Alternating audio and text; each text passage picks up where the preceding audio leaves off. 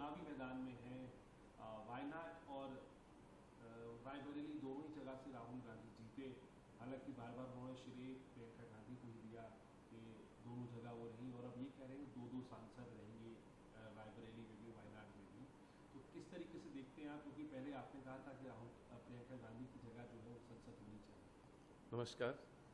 पहले तो मैं देश की जनता को धन्यवाद देता हूँ कि उन्होंने इंडिया गठबंधन को भारी अच्छे नंबर से जिताया और कांग्रेस को अच्छे नंबर पे लाए और बीजेपी का जो 400 पार का जुमला था, उनको हकीकत याद दिला दी कि जनता कितनी उनसे नाराज़ थी और मैं ये कहूँगा कि जो धर्म की राजनीति है, वो सबने देखा था कि अयोध्या में उनकी हार से उनको समझ आया है कि धर्म की राजनीति देश नहीं चाहती है। अ, मैं बहुत खुश हूँ कि प्रियंका वायनाड से चुनाव लड़ेंगे।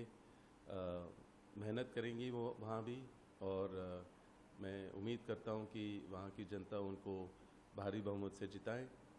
जब भी मेरे से पूछा गया कि आप सक्रिय राजनीति में कब भाग लेंगे तो मैंने हमेशा बोला कि प्रियंका के संसद में भाग लेने पर अ, उनको सांसद के रूप पर देखने पर उसके बाद मैं अ, शामिल हो सकता हूँ।